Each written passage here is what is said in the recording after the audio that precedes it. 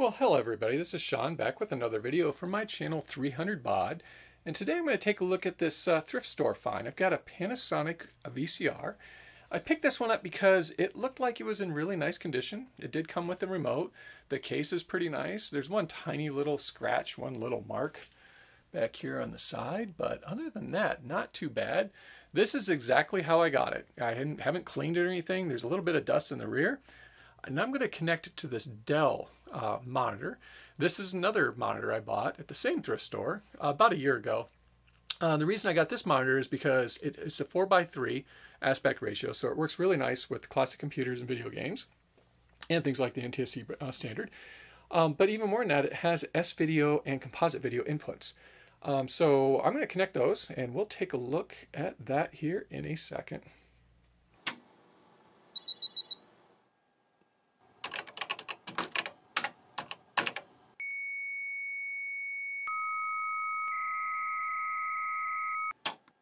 Let's take a look at the rear of this VCR. Like I said, this is the condition that I got it in. And you can see it's pretty nice. see, it looks like this one was made in Japan. I'm sure someplace here we have the year of manufacture, but I oh, looks like yeah, it was it was manufactured in January of 2000. So this is a 22-year-old VCR now. Um, here's our stereo connections and our antenna connections uh, or video connections, and you can see there's a little bit of dust collected, but not too bad for a VCR that's uh, 22, almost 23 years old. So here's the rear of my Dell monitor. I've popped the uh, stand off, and we can see that this is a, uh, looks like the model number is 2007 FPB, which is a very strange name to call that. Um, this one in particular, you can see I've got, uh, looks like a speaker power output. I guess if you're running a DVI-D in, you can run your, uh, you get your sound input and you can run out to your speakers. We've got uh, USB uh, connections, so it's got the USB ports on the side, a couple of USB ports on, down the bottom, and your uh, your USB input. And we also have our S-video port. Next to that is a composite video input, and we've got our VGA input and the DVI-D input um, and then our power input. Uh, this one looks like it was made in Mexico. Don't see a date code on this guy. Oh, there it is. So this is uh, June 2010. So that makes this one currently almost a 13-year-old monitor. So to get my VCR connected to this uh, monitor, I'm going to need to uh, connect in the video using this cable. We'll go to the output on the VCR. I'm going to need my um, left-right audio going from the VCR um, to this adapter here, which is going to plug into this little adapter here. And then we're going to plug in this guy here. So let's go ahead and get these connected in. Snap that guy in like that. snap this guy in here. So I got quite the uh, quite the little adapter connector there. And then we're going to hook up our red cable which should be the right channel, like so. And then our left channel in here. So that's going to give me my audio. And now we just need to get our video hooked up. So I'll connect this to the yellow connection output on my VCR. And then the other side will go up into my monitor. So let's go ahead and get that done. Now on this one, on the left, I have my input. On the right, I have my output. So I'm just going to connect my yellow cable there. And I'll be connecting in my left channel and my right audio channel, like so. And just go ahead and push them in. Uh, and that'll be done on the VCR side. I've got to find my video input, which is right next to the S-video cord installed. There we go. So I've got my VCR now connected to uh, the monitor and I've got the audio going to my speakers. And now it's time to test uh, this VCR and see if it works. And because I don't want to get a, copyright strike, I think we'll take a look at Silent Movie because then we don't have to have any audio going.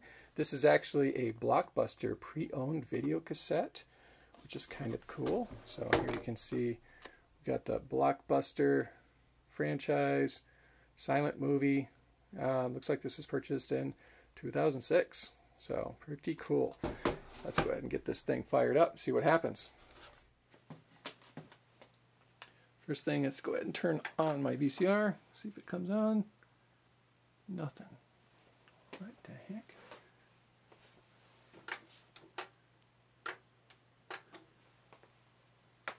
Not getting any power. All right, so let's go around, try to find out where the power is going. What the heck? No power. They said it was tested. It's not working. Oh, jeez. Okay, so I played around with my power connections and um, that still did not light this up. I pushed the um, power here. Oh, there we go. So power is doing something. I'm getting something. Oh, there we go. So it's on channel 19. Now, what's really weird, I've never seen this, is I don't have any display on the front panel. So Seems to be something going on there. Not sure if it really matters, um, but let's go ahead and put in a video and see what happens. So it's actually pulling it in, and it's saying play.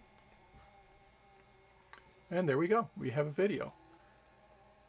Now this is uh, VHS, so we're looking at 240 line resolution, but it's really not too bad. Um, let me see if I get any kind of sound here at all. There we go.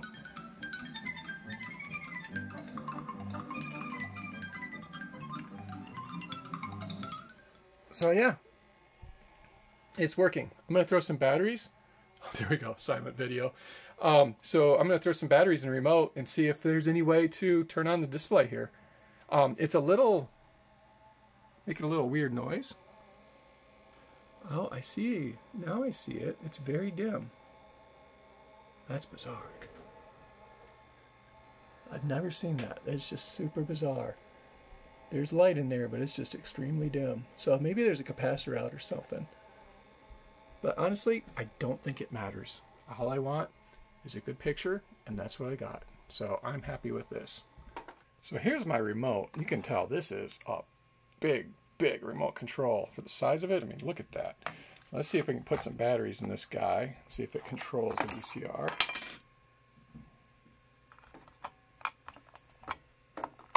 Very hard to do one-handed. But doing a YouTube channel like this, you get better and better doing things with just one hand. There we go. Let's see if I can rewind my video. Rewind. There we go. She's rewinding. Now she's a, that's a pretty noisy VCR. Might have to take it apart, give it a good clean, see if I can get it to quiet down a little bit.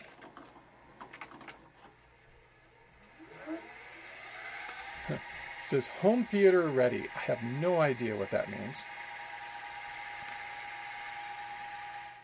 Little arrows pointing at the screws, which is pretty nice. Looks like this only has two screws holding the back on.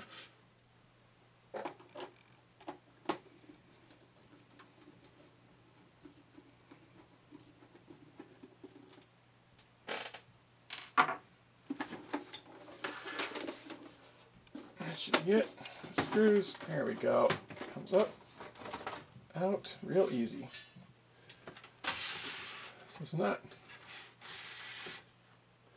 not too bad inside here. A little dirty. So there's the inside of this VCR. Not too bad. Um, here's your head. Tape path comes around, goes around the head, and you can see the little heads right here. They are what swipe. I'm going to give that a good cleaning. See if I can help it a little bit. Here's our gears. We got uh, the grease is starting to get kind of solidified in there. Probably wouldn't be bad to clean that out and re-lubricate it. Um, doesn't appear to be any belts in here, which is good because uh, belts will go bad over time. Um, yeah, this could probably be cleaned up here. Oh wow, that's all gunky, so we'll clean that up. Okay, so typically I would use a little bit of rubbing alcohol um, and Q-tips but I ran out. So I'm going to use this stuff. It's computer cleaning solution. See the sweet old system on there. It's uh, pretty old. Um, basically, if hopefully this is mostly just alcohol, doesn't really say what it is, but you just don't want to build up residue in here. So I'm going to just put a little bit of a little squirt on here. Come on, you can do it. There we go. And I'm just going to wipe the uh, heads off really quick. Give them a little bit of a wipe.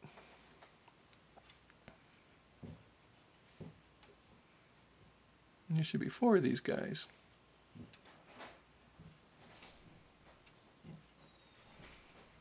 Just like that. I'll go around it one time. We'll clean the tape path as well. There you go. So that's actually pretty dirty. So that might help. Um, and I want to go ahead and wipe off um, the other uh, surfaces that make contact with the tape. So we'll wipe this guy off here. I don't know. I think this is a brake is what this is. I'm not sure. It looks like it makes contact with the tape. It's pretty dirty too.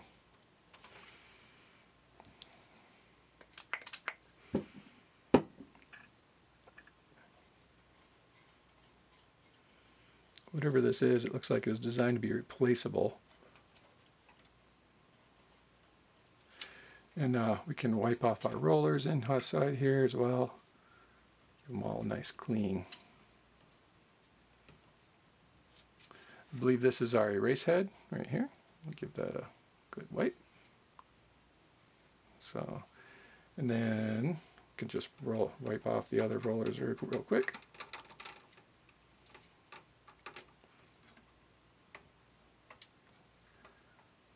Can see there's quite a bit of dirt along the tape path. Pretty dirty. There's another one there. I'm not going to touch that with this, and oh, that's that's greasy, so we'll leave that alone. There's that first one. Let's go to a next. All right. Let's see if there's any other major areas I should hit. Maybe this one here. Yeah, that's dirty. And we'll wipe this off right here.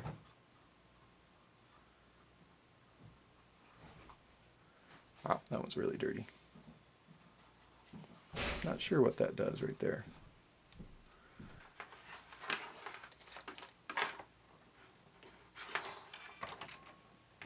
Okay, so got power. Let's pop this movie in and see how how it looks.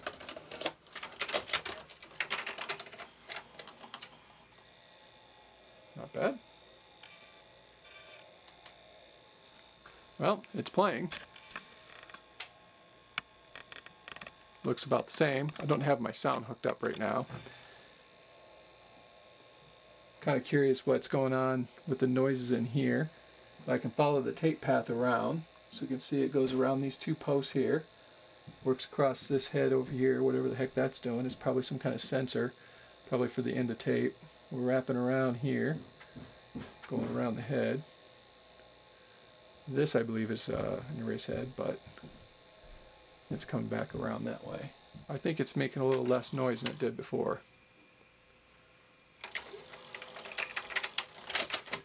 A lot of things moving around in there. Okay, so I've got my VCR plugged in. Uh, TV's on, speakers are on, um, but I don't have any display here. This is very unusual. Um, but if I zoom, if I come in real close, oh, there's nothing there. Um, I can turn on the VCR and yep, I get the screen coming up. It's on channel 19, which is an odd place to be. Um, but if I get really close, then you can see that it is lit up inside there. Um, but I just cannot see it with uh, my regular vision.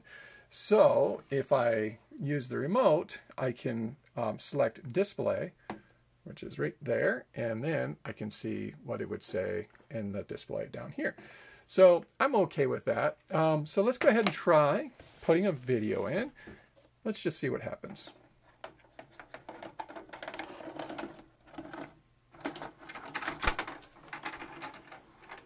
So she's playing.